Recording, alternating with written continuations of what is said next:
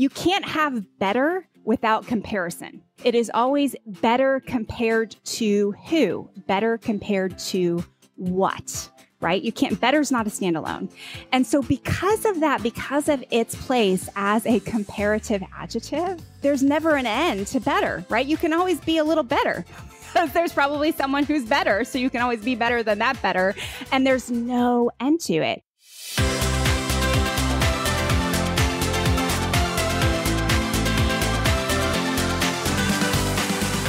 There, I'm Amy Connell. Welcome to Graced Health, the podcast for women who want simple and grace filled ways to take care of themselves and enjoy a little chocolate in the process. I'm a certified personal trainer and nutrition coach who wants you to know your eating, movement, and body don't have to be perfect. You just need to be able to do what you're called to do. Now, if you have ever struggled with comparison to others or even your former self, today's episode speaks truth. Oh, so much truth right into your heart, or at least it, it did to me. It did to me. Okay, so this is the deal. I don't want to admit I deal with comparison. I would really like to think that I'm past that. And honestly, I've gotten to the point that I don't deal with it as much from like a person to person, body to body perspective. Like I've I've come far enough that most of the time I'm not like, oh, well, she's thinner than I am, or she's fitter than I am, or anything like that. So I'm most of the time I'm okay with that. But I still fall into this trap of comparing my body to the one I used to have. Or maybe comparing my mothering skills, which ebb and flow. Sometimes I'm winning, many times I am not. Uh, or even something as simple as you know, my food photography, which I, in my newsletter, I'm like, I am not a food photographer, but I'm going to take a picture of this because it's really good. And then also, like, for me personally, uh, this communicator in an online space, this is really hard for me to, um, in the comparison and not to, not to compare myself with others. So that's why I cannot wait for you to hear from my guest today, Heather Creekmore. You may know Heather from her first book, Compared to Who? Which focuses on body image. And then she's written another fabulous book on comparison from all kinds of perspectives and why trying to be better may not be where God wants us. If you don't know Heather, let me tell you a little bit about her. She writes and speaks hope to thousands of women each week, inspiring them to stop comparing and start living. She's been featured on Fox News, HuffPost, Morning Dose, Church for Leaders, For Every Mom, along with dozens of other shows and podcasts. But she's best recognized from her appearance appearance as a contestant on the next Netflix hit show nailed it. Heather and her fighter pilot turned pastor husband Eric have four children and live in Austin, Texas. You can connect with Heather at compared to who.me. And then she also has a podcast by the same name, which is really great. So I highly recommend you check that out. I'll have all those links in the show notes. But before we get to Heather, I have wondered or I am wondering if you have joined me yet in breaking some rules. You know, I'm all about rule breaking right now, some of these stupid, dumb health ones that we've grown up with. So, if you would like to uh, join me in breaking some of these so called rules of healthy living, I would love it if you would go over to gracedhealth.com slash bad rules and get my free download. It combats several health rules we've heard uh, over our lifetime and then gives you a bonus one to. Okay, let's bring on Heather. Heather, I am so glad you are here on the Graced Health podcast. Welcome. Thank you. It's great to be with you. Okay, tell me. I always think this is kind of an interesting question, even though it's like super simple. So, how has your day gone today? Today has been fairly easy. So, yeah, um, I homeschool. So, and we're kind of in the December slump of we should probably be doing something, but it's almost Christmas. So we'll just kind of wing it. So, yeah, it's been a pretty easy day so far. Thanks. Oh, that's great to hear. Yeah, my um I do not homeschool. I was not given that gift. but um my older my my kids like the way that their school does the final exams is they kind of spread them out which is really nice. I think it's great for them. I think it's great for the teachers because then teachers are like well study for your next exam and then they can get those graded and so it, it's not hanging over their heads. But yeah he's kind of been in that funny little sl- or they but one in particular has been in a little bit of a strange little slump of like the heavy ones were early mm-hmm. and now he's just kind of coasting on through. Very nice. So that's great. I was wondering if you could tell my listeners a little bit about um, yourself and then both of your books because i feel like they kind of um, I don't want to say one follows, but they kind of capture a lot of the same. I don't. That's not fair of me either. It's not the same. you, you, want me to explain? This it? is not going the way I wanted it to. let, let me help you out, Amy. I'll, I'll, pull you out of that hole. Um, no, I'm. It's actually it's good. You you were actually accurately describing it, and it's hard to describe. It's hard to put words around. So let me put words around it. So yes, um, I'm Heather Creekmore. And um, this is kind of like the start of an AA meeting. Like, I write about uh, body image issues because I've had body image issues since the third grade. And honestly, this is the last thing in a million years I would have ever expected to be talking to you or anyone else about. Um, I was raised in a Christian home. Um, I went to Christian schools all the way through graduate school. And so I had things that I wanted to do with my life, and none of them included talking about my biggest struggle, which was my body image issues, always thinking I needed to be thinner or prettier or hotter or whatever word you would choose. Um, but a constant treadmill of thoughts in my mind and really a treadmill of activities in my life that really kept me chasing a better body um, instead of chasing God's purpose for my life. And so I am. Um, yeah. By the way, you can uh-huh. stop right there. yeah, I know. Well, I, I've heard your story, and I was like, well, I think you you compared to who could be your story have- too. I mean, I don't know the details, but but yeah, we're, we're very oh, similar. Oh, yes. So I am I didn't get married until I was in my early 30s, 31. I met my husband on eHarmony. So I spent my 20s working in politics and marketing, and I had great jobs, but uh, I had one job on the side that I used to define my identity more than any other. And that was I was a fitness instructor. And um, I was probably, I mean, I held the title of vice president of my organization at 25 years old, but I was a lot prouder of the fact that I was a kickboxing instructor um, because that was really what concerned me was if people would think I was pretty or in shape enough or all of those things. And so, um, in some way, I thought that having that title of fitness instructor gave me that stamp of approval. And um, and so I taught yeah. fitness classes through my late 20s and, and really all through my pregnancies and my 30s after I got married. Um, but what I recognized was even being the best fitness instructor at my gym, uh, wasn't enough for me to solve my body image issues. That stamp of approval, if you will, was not actually a stamp of approval. It was it was just another title that didn't mean anything. And um, and so, like I said, I got married, and I thought getting married would solve my body image issues, and instead, I think it made it worse. and then I got pregnant and had kids, and and so anyway, my story is is I'm a pastor's wife now. I married a Marine fighter pilot who uh, was called out of the military and into the ministry, and um, and we have four children children that, like I said before, we homeschool. And um, I write and I speak about all those embarrassing things that a lot of women think about in their yeah. heads and don't let out. Unfortunately, I just let them out.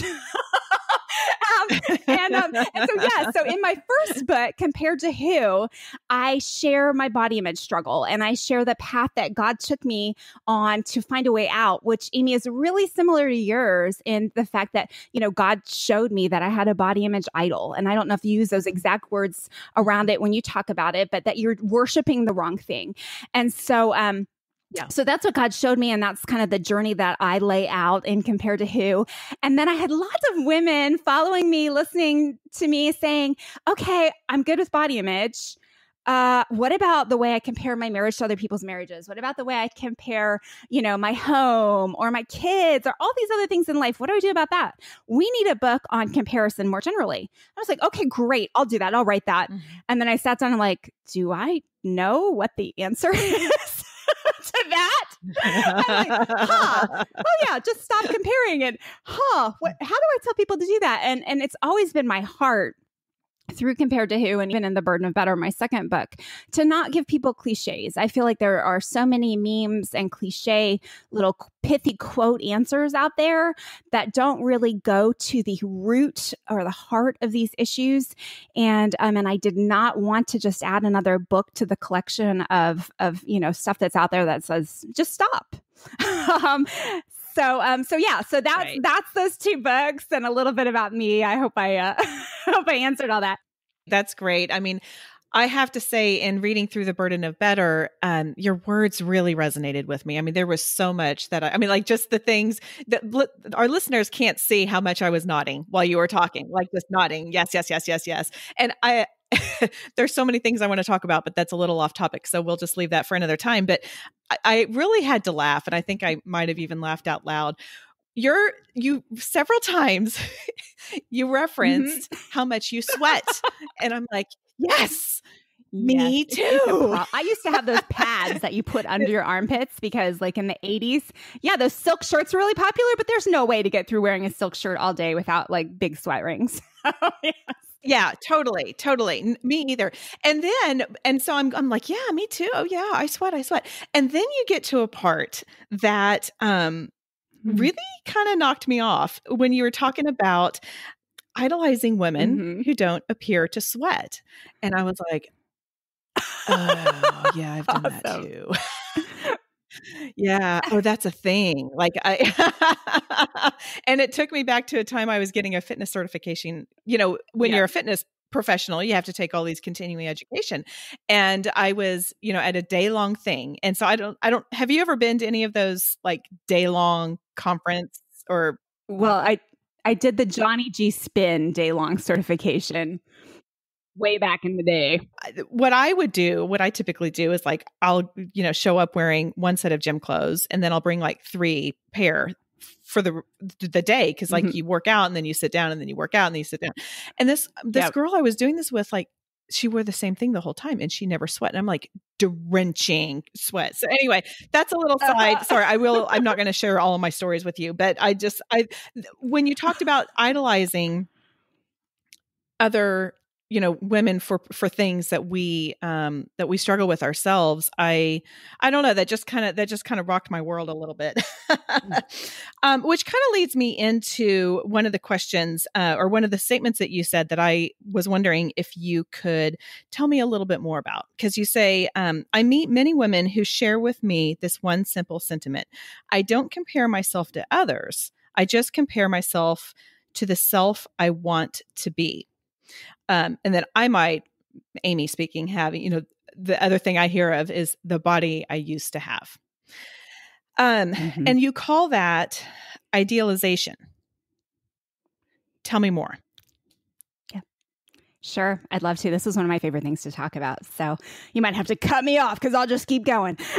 but no, I so so this is this is very very common, I think, and a lot of us convince ourselves that it's not outside pressures that are pushing us to change or be better or you know get a better body all those things that it's just something mm-hmm. inside of us. And and what that something inside of us is is our ideals, right? And and the culture that we live in in our society, having ideals is praised, right? Like it's good. You have to have a goal. You got to know what you're working for. You put the picture of your ideal. Well, it used to be you put it on the fridge. Now I guess you just pin it on Pinterest. But I uh, like I remember, you know, in the 80s and 90s, you cut out the pictures of the women that you wanted to look like and you put them on your refrigerator.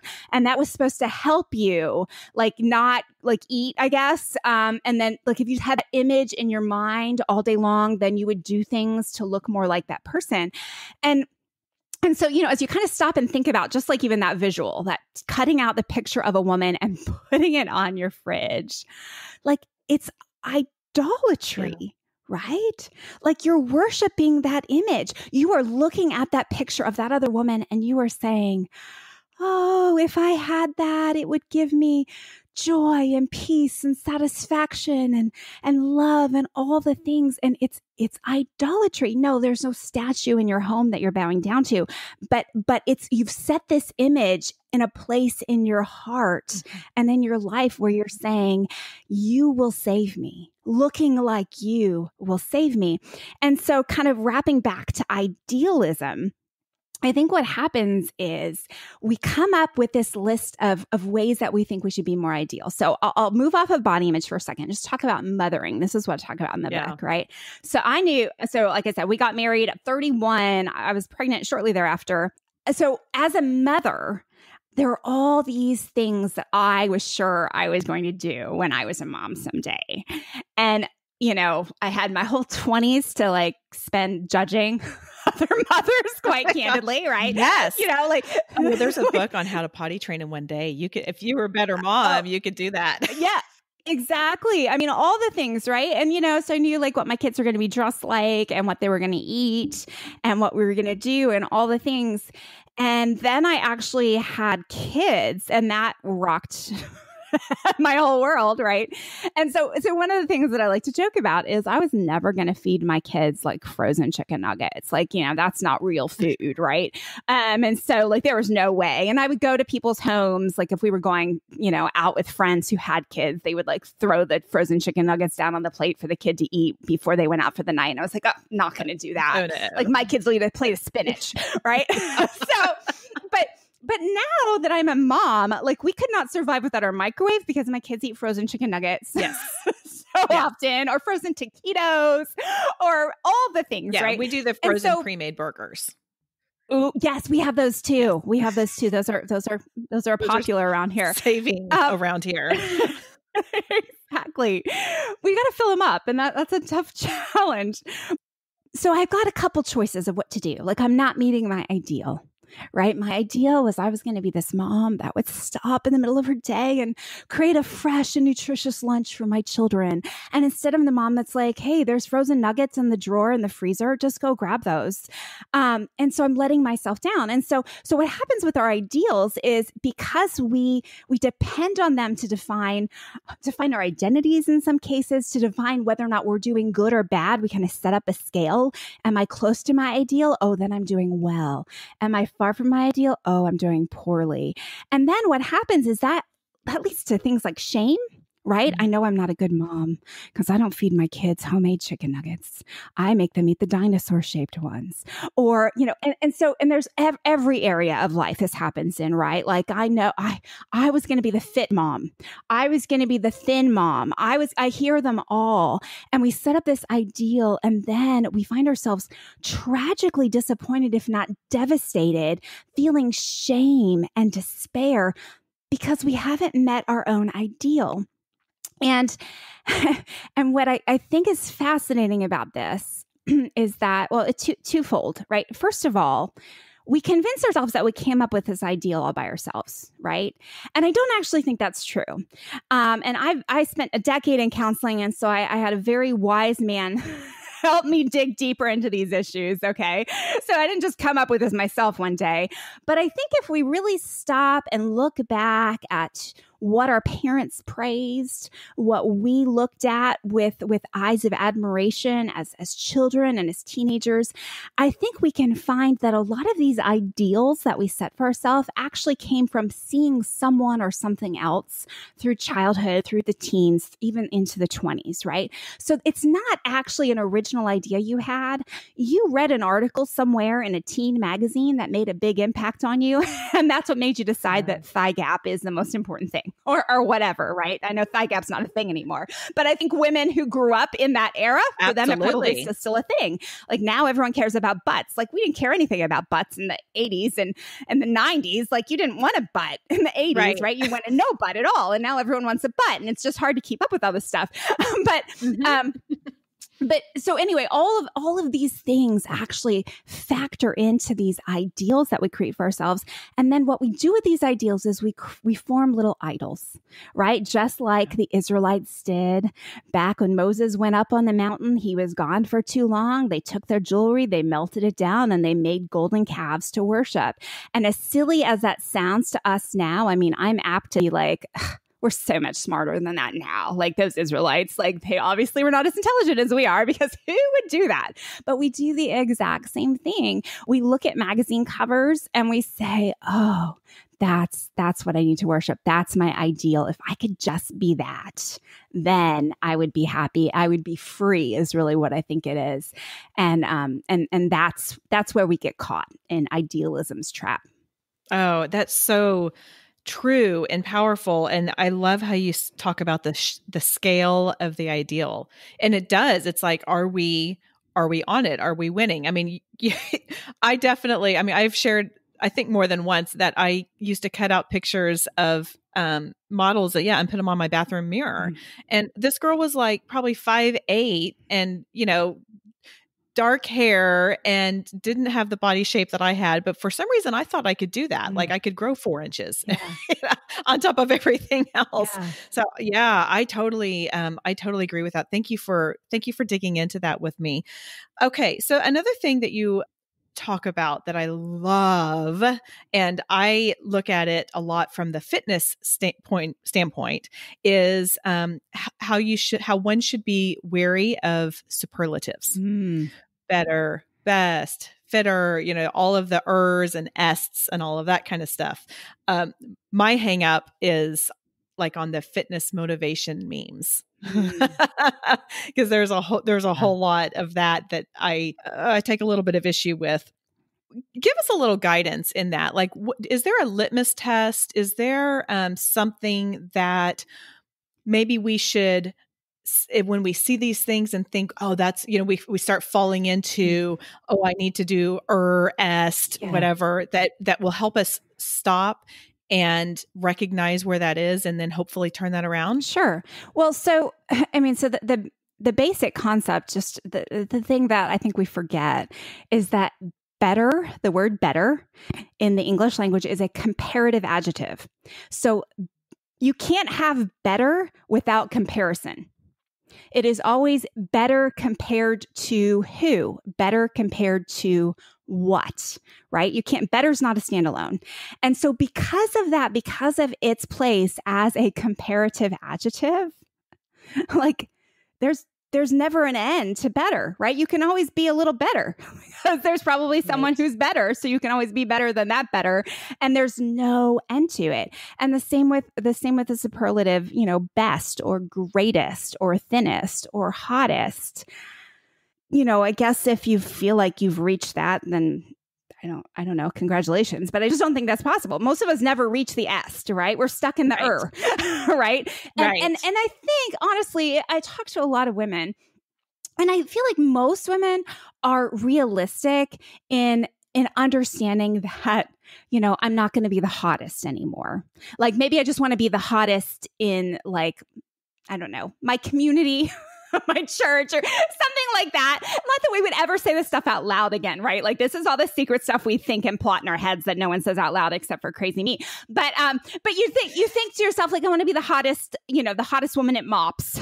or whatever, right? Yeah. You won't say that to anyone. Yeah. But but it's but I think realistically most women are are not actually setting those kind of goals.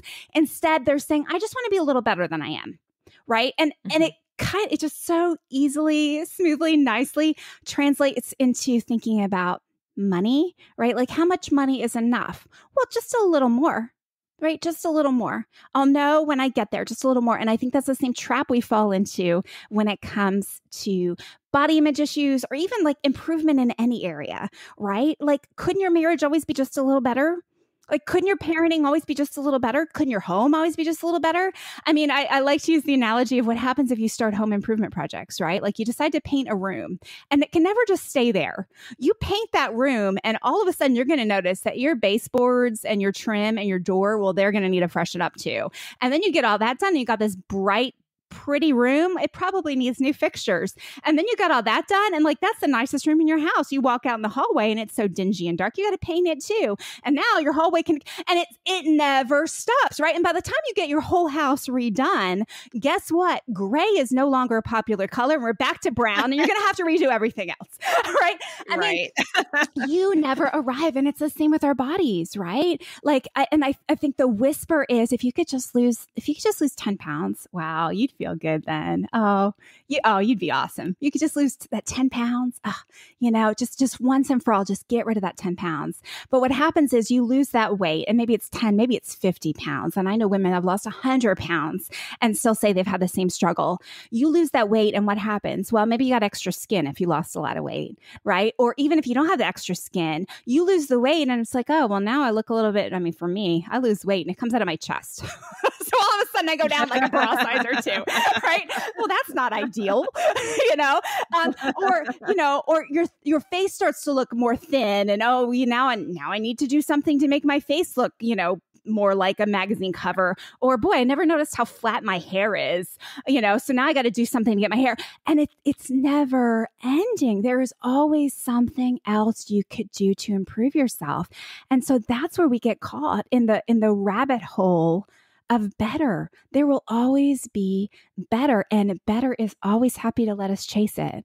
And I think I think as believers as followers of Jesus, we have to stop and we have to ask ourselves, is that the better that he wants us to chase? Is that the better that he wants to consume us? So you ask for practical strategies not to fall in that hole. I think the practical strategy is to follow the treasure principle that Matthew sets up for what we do with money and what we do with our treasure, right? So where your treasure is, your heart will be also. So how do you know where your heart is? Well, you look at where you're spending your money and where you're spending your time.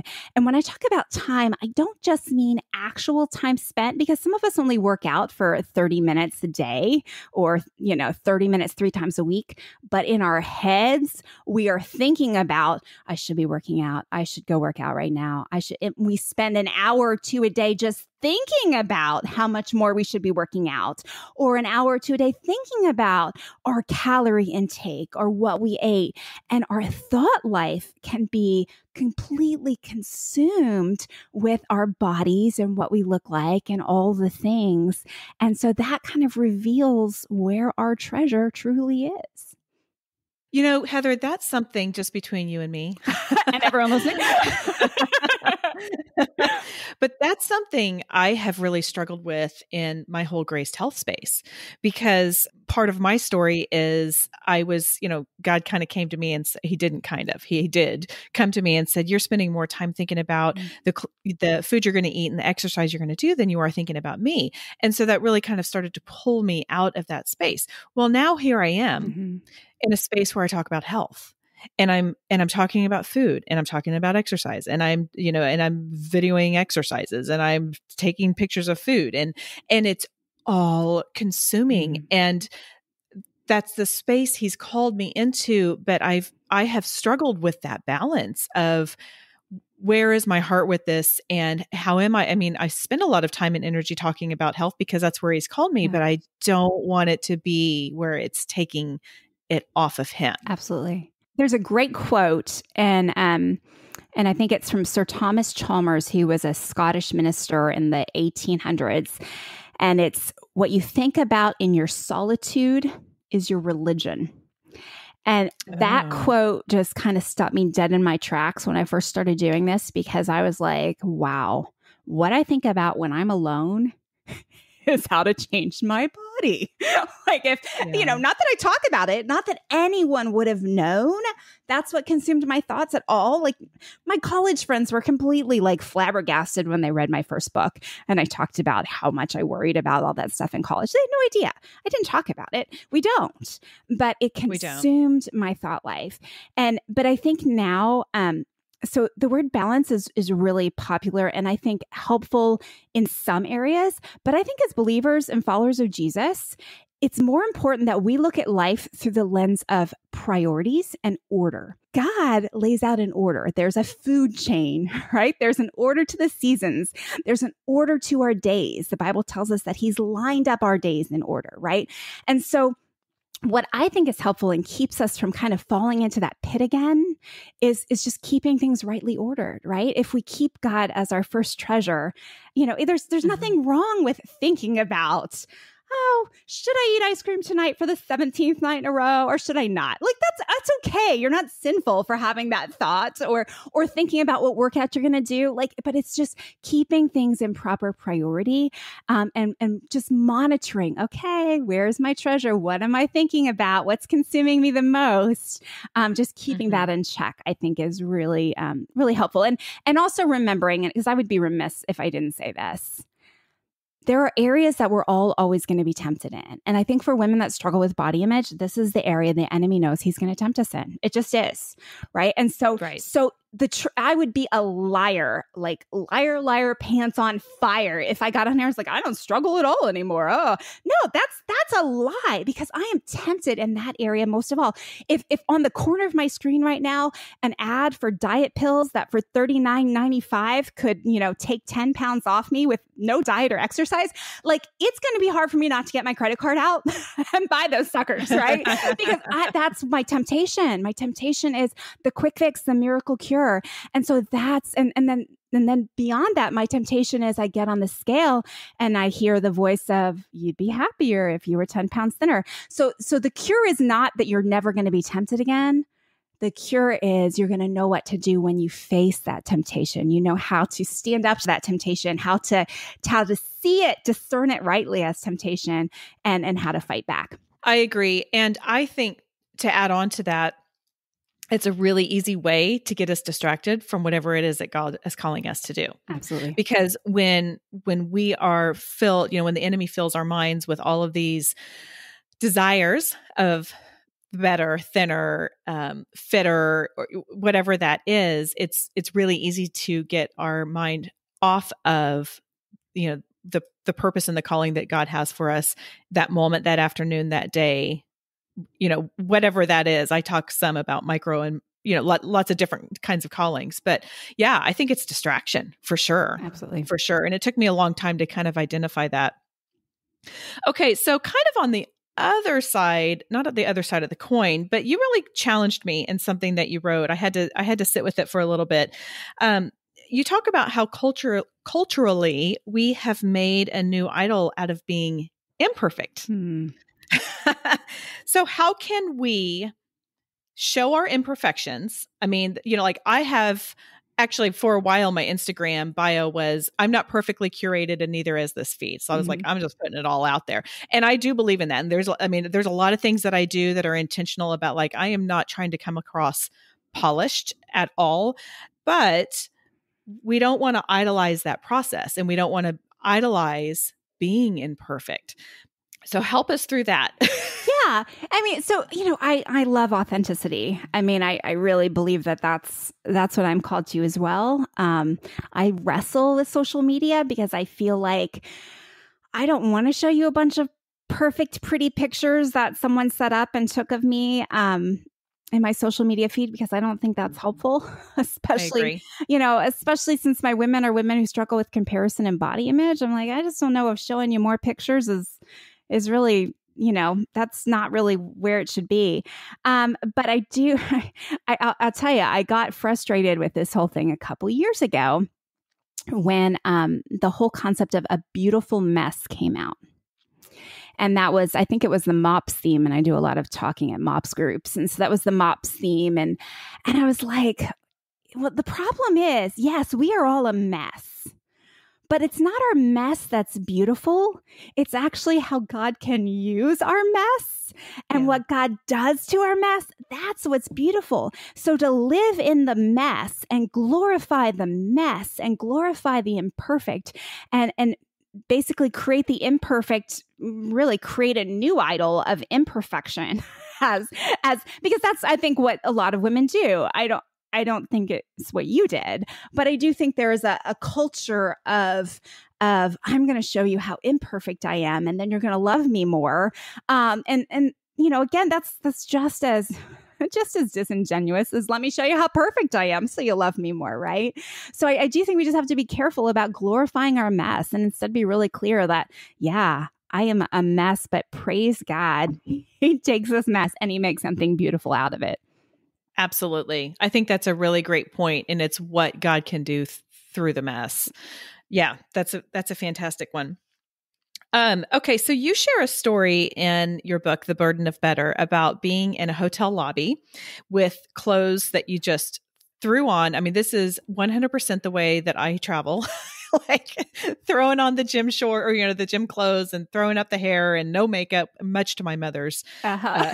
uh, oh gosh mine too uh, and you see a woman in a green dress so mm-hmm. i'm actually going to let you take that from yeah. there because i don't want to mess up the story but if you can you share that story with us because i think it was so powerful Absolutely. Well, yeah. So I'll set I'll set the context even more. So my husband had just taken a new job um, in Austin, Texas, and so we were traveling just to meet him. So we are kind of doing this whole like stay in hotel for a weekend so we can be with dad, and then we go home and and stuff. And so literally, I had on capri yoga pants, a t-shirt, a black dressy cardigan sweater that I had brought to wear to church the day before. Um, but it was freezing, and that was the only kind of coat thing I had.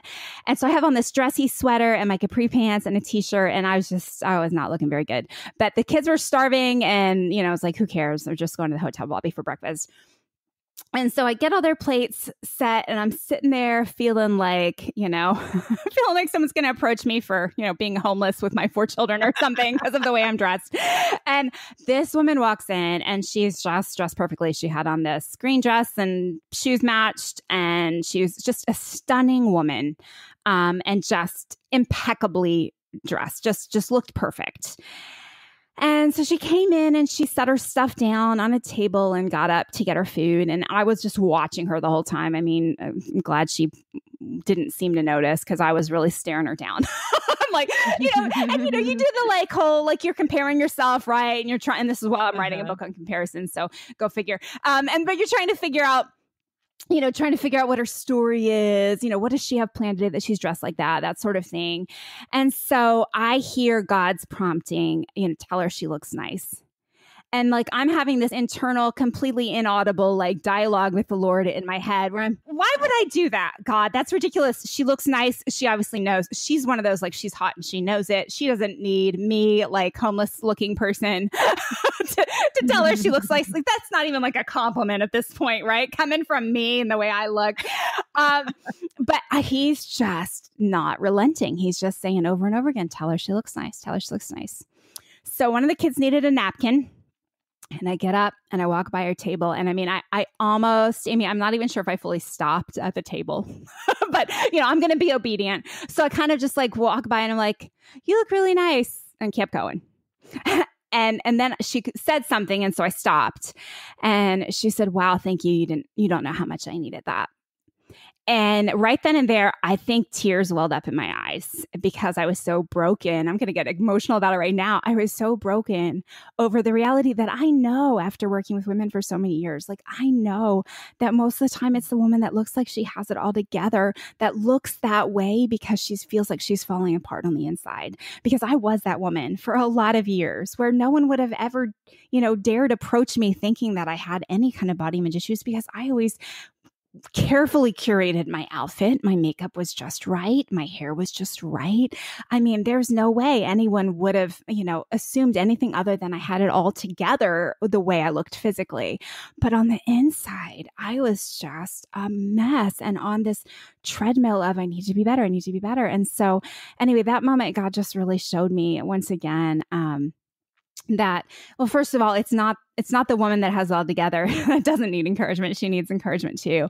But second, beyond that, just how much we need each other, right? We need to be each yeah. other's cheerleaders and we need to not withhold the compliments because we feel like that other person is ahead of us in some sort of imaginary race of who's thinnest or who's prettiest or who's hottest, right? Like, like that's ridiculous. Like that's not, God hasn't called us to a life of, of comparing ourselves in some sort of fictional beauty contest, right? Like we, we need to be encouraging and supporting each other and and and doing it with our words. Um, and so yeah, so that that's the story. That's that's kind of what God God showed me through all that.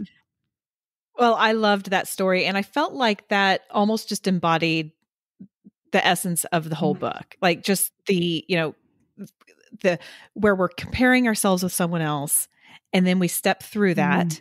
And we, you know, and we go through wherever God prompts us to do, and then we that fills you know in this case it filled her mm-hmm. up right like it touched her and, and then in, and then in turn it filled right. you and i think that that's just the blessing of being encouraging of being positive and supportive and giving those little you know you look nice today or whatever that is uh, that you never you just never know you never know where uh, what where people what people yeah. need yeah. what people need okay so i was um I kind of have a love hate relationship with Facebook, but I am on it. And I saw a post. This was just a personal friend. Like I know her IRL, and she posted something that I thought was so vulnerable and brave. And uh, so I'll read okay. it to you, and then I would I would love for you to respond to it. She says, "I am trying to be the best mom I can. However, Whenever I feel like I'm doing a good job, I look at Facebook and I'm reminded that I'm falling mm. short. How can there be so many perfect mm. moms? And I, am not a super emotional person, but I kind of want to cry at this yeah. because it, like I said, it was so brave. And at the same time, you know, it's just like when we were growing up and teachers would say, if you have a question, mm ask it, because if you're thinking it, then probably everyone else is too. And I thought, she's not the only yeah. one. I mean, there's so so many women who feel this. So what what encouragement would you give to her? Would you yeah, Wow. Um no, I mean she's not alone and I mean and I think that is the danger of social media, right? And and it, yeah. that goes to the cliche of you can't compare your behind the scenes with someone else's highlights reel, but I kind of hate that cliche. I hate that quote because I truly believe that sometimes you can see someone else's behind the scenes and your real life is still worse than their behind the scenes. So like it doesn't actually help mm-hmm. you, right? But but you know there is there is a challenge of social media telling us a story that's not true and so uh, what i think there's there's two cures for this the first cure is we never will be enough we will never be better. We will never reach best status if that's what we're going for if we are completely focused on ourselves all the time. You know, it's just that person who is constantly looking in the mirror harder, longer, you know, staring more and more and more to, you know, see if she's actually beautiful. But what happens when you actually stare in that mute in that mirror longer, harder? Like you start to find imperfections, right? And the more you stare, the longer you stare, you don't ever walk away like, wow, like, whew, I'm I look good today.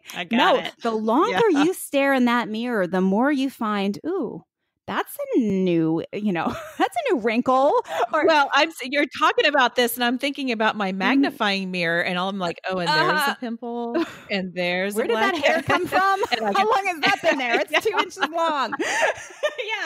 Yeah, um, yeah. I mean, and so so I think that's actually what happens, though, metaphorically, when we're trying to be the best. We are so uber focused on whatever that thing is that we're trying to succeed in that instead of seeing where we are actually having success or doing well all we see are the ways we are falling short and and i think and uh, you know i'll segue into um into of the verse I wanted to share, if that's okay. The Apostle Paul tells us in, in 1 Corinthians, he kind of talks about his resume. And this is a pretty famous part of scripture. A lot of women that are familiar with the Bible are probably familiar with Paul, like given his resume with like you know how uh, you know he's got the right uh, lineage the right heritage you know he's educated correctly like he's he's got all these things. And then he says he counts it all as like dung which you know some people translate to even like the swear word for poop okay? Like so he's he's mm-hmm. being really emphatic that that his resume means nothing to him. But then right after that in First corinthians 4 3 and i'll just read the verse for you and I'll read it from um, the ESV. And it says, But with me, it is a very small thing that I should be judged by you or by any court. And so what he's saying is, I don't care what you think of me, and I don't care what your court thinks of me. But then he says something really fascinating. In fact, I do not even judge myself. And then in the next verse, he goes on to say that only God judges him. Now, I don't judge myself. Like, so in our culture, like that gets really fuzzy, right? Like the whole judging thing gets fuzzy. Like, do we judge? Do we not judge? Christians shouldn't judge. Christians should judge. You know, it's like, oh, all the culture wars. But, but let's, let's back away from all of that and all of those definitions of judgment. And let's just think about what Paul's saying. He's saying, I don't, the New Living Translation says, I don't even trust my own judgment of myself. Okay. And so, so what happens is, and this ties nicely back to our ideals. But what happens is we set up this measuring system, our own sort of ruler, our own sort of like list of rights and wrongs by which we can judge ourselves, right? I know I am a good mm-hmm. mom if I, back to my example, if I don't feed my kids frozen chicken nuggets. I know I am a good mom if I do crafts with my children. I know I am like the best mom if I don't know, we we learn a second language together while doing making our own wreaths and eating nutritious food or whatever kind of craziness you have in your head, right? But, right. but you have this list of ideals, this list of things that you think you have to accomplish in order to essentially make yourself happy, right? Right? These ideals are not what God asks of you, right? This, this is not a list that God gave you. You know, Amy, I need you to feed your kids this and I need you to, you know, do this every day. No, this is not what God asks. This is just a completely separate thing. And I think the truth of what Paul's saying here is that that these judgments we set up for ourselves are different than the judgments that God sets up for ourselves. And guess what? They're not as important as the judgments as God sets up for ourselves. In fact, most of us like, uh, you know, cringe to hear this, right? Because this this hurts to hear. And so I'm sorry if you're listening today. This this might hurt a little, okay? But but what you think of you is not as important as what God thinks of you right? And and for a lot of us, we get that mixed up, right? Like, yeah, I know God loves and accepts me, but I will accept me more when I lose the weight, get this firm body, you know, get this thing to happen in my life, reach this success, you know, status symbol point, right? But but that's not the truth of scripture. And, and so really what happens yeah. in that whole messy equation and what maybe it sounds like is happening for your friend is we set ourselves and our opinions of ourselves up as an idol, right? What I think about me matters most. Ooh, no. And that is so hard to admit because as I mean those of us who are are Christ followers too like we know that that's not what he is wanting us to do and we know i mean we've we've read mm. exodus like we get it but it is and it's so hard to admit that um so I just, I guess yeah. I just want to throw that in, and I, you're nodding your head. I mean, you know, for those who are like, "Ooh, I don't know, do, I'm not a right. idol," I, you know, or I'm, I don't, uh, you know, create idols. Um, but I think we do. I mean, kind of going back to what you were talking about with where's our, where is our time, where's our energy, where are our thoughts, and it is it's a good it's a good gut check a good litmus test Be- because i think our culture tells us yeah. that making yourself happy is what's most important. Don't worry about making other people happy right? Mm-hmm. make yourself happy. Mm-hmm. are you happy? That's what's most important. Are you doing the things that you want to do? That's what's most important. And ooh boy, we let that message seep in from everywhere, but that's not what the word of God tells us. Like we don't, and, and it's, it's hard. It's super hard truth. I, I hate that I have to be the one to deliver such hard truth sometimes, but, but it, but it, but we need the wake up call of we have, I, I don't, it's kind of like, um, so I homeschool, like I said, and I have a list of things that my children have to do every day. Okay. If my child comes to me and he's like, Oh, yeah, I know your list, mom, but I have this list of things that I want to accomplish today. And look, I'm doing pretty good. I've accomplished like half of the things that I want to accomplish for today. Um, so I'm doing great, right? Because I feel pretty good about the fact that I've gotten half of my list done. I'm going to be like, no, dude, I asked you to do these things. How are you doing on this list? And, you know, and again, my son's like, but mom, I feel really good about my list. No, I'm sorry. That's not the metric we use in this house. And I think for us as Christians, we have to remember no, God doesn't really care about your list. like at the end of the day, he wants to know how you're doing on his list, not that he doesn't have purpose for your life that's fantastic and and you were uniquely created for it and all those good things he wants you to work for your good and his glory like all that good stuff he loves you beyond what you could ever imagine but your list is just that it's your list it's not as important as his that's a really great analogy. I think everyone, especially those with teens, because most of my listeners are, yeah, kind of have that teen, um, or many of my listeners have have the teen age children, and yeah, I, I'm sitting here going, uh-huh, uh-huh, uh, yeah, oh yeah.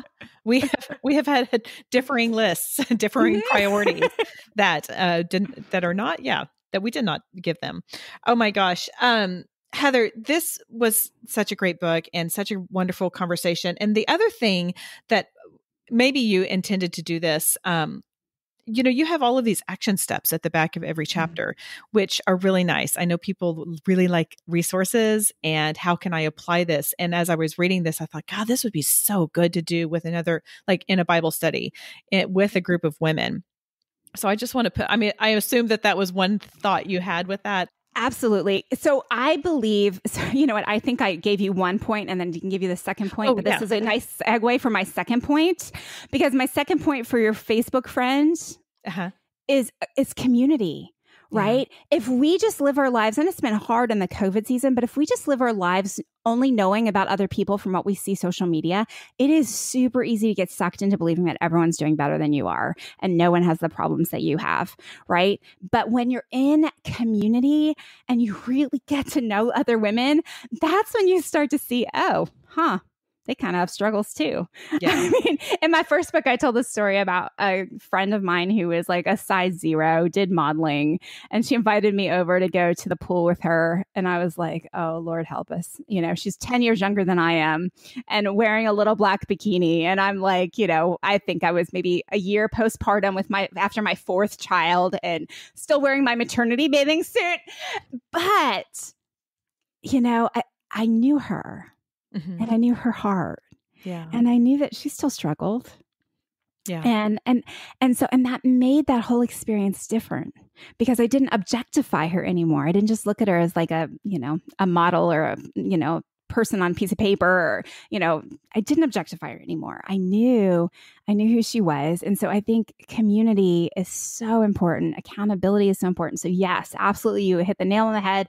I designed this book for you. If you want to read it alone first, read it alone, get an idea, and then grab a couple copies and get a couple friends together because these are issues that women struggle with their entire lives and don't have enough women to talk to authentically about it, right? We say things we, you know, we get in the like who's fatter contest. Like, you know, if someone says something negative about their body, it's like, oh, I feel fat. Oh, you're not fat fat. I'm fat. And we kind of like, who's the bigger ogre kind of contest is the only yep. conversation we have about these issues. And we need to cut all that out.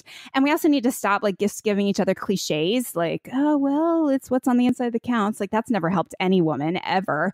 Um, she feels fat, right? And so we need to, we need to cut all that out and get to the root of these issues and, and be in community with women that can help keep us accountable to biblical truth and help us find freedom so we can just enjoy our lives and be out there and live for what what God has called us to do.